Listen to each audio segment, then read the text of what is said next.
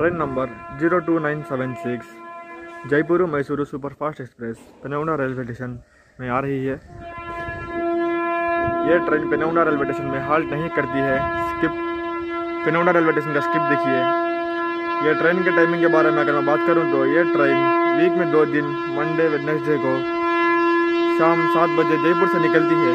तीसरे दिन दोपहर तीन बजकर पैंतालीस मिनट पर आपको मैसूर पहुंचाती है।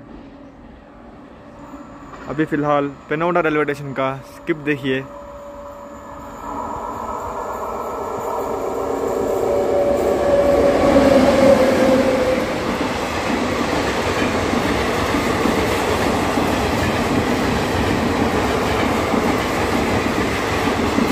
कालागुड़ा का लोकोमोटिव लगा हुआ था।